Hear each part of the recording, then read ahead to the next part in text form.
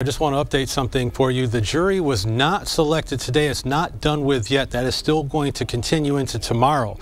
Meanwhile, the case against former Catholic priest Robert DeLand has had plenty of twists and turns. Let's take a look at how we got to this point. February 2018, Mid Michigan learns of the criminal accusations against Robert DeLand. The activities involved in this case are detestable.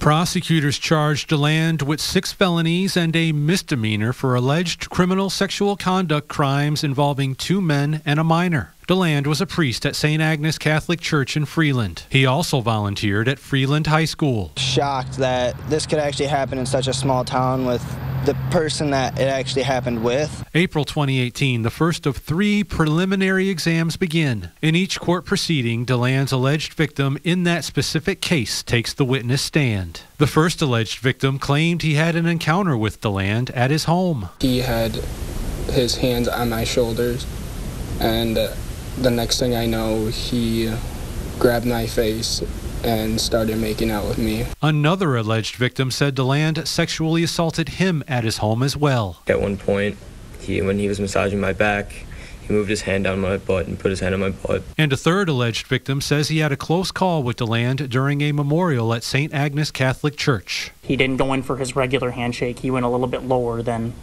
what I'm used to. The court finds there is enough evidence to bind over DeLand for trial. September 2018. Instead of heading to trial, DeLand decides to plead no contest to the criminal charges against him. DeLand, who had no prior criminal record, is looking at one year behind bars, five years probation, and has to register as a sex offender. I want to make it clear to the public that there was absolutely no plea agreement in this case.